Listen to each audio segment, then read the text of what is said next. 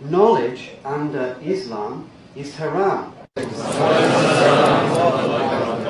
Brothers, sisters, and friends, I hope what I'm going to say now is not taking out of my time because I follow an ethical tradition, and that ethical tradition is when you intellectually engage with others, you can't lie.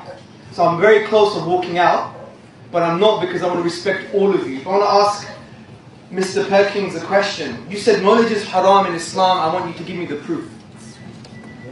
Well, I, You said knowledge is haram, forbidden in Islam. I want textual proof from the Quran or the Sunnah, the prophetic traditions.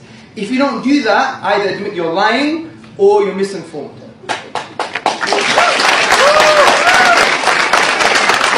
You- You're a, you're a doctor, you're an academic to come here, to come here, all types, all types of knowledge. To come here and to actually spew lies is what I said was, You said knowledge was haram? yes,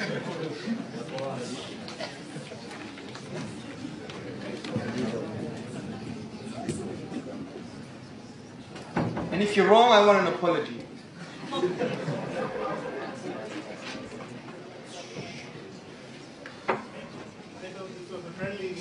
It is very friendly. I'm just trying to teach people manners. what Sorry. I, what I was referring to, Yes, sir, please.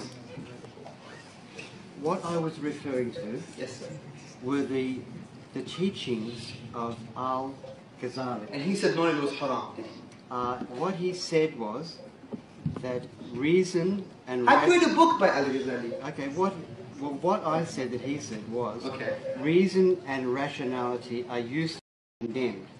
Okay, now if I have misinterpreted the word haram, perhaps I am incorrect in that. But what I meant by that yes. was just what I said here, that reason and rationality is condemned in Islam. That's what I meant. Okay, that. that's a lie.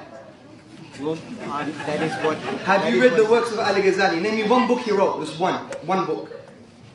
I believe he wrote The Incoherence of the Prophets. No, it's called The Incoherence of the Philosophers. This is exactly my point. I'm going to start my presentation.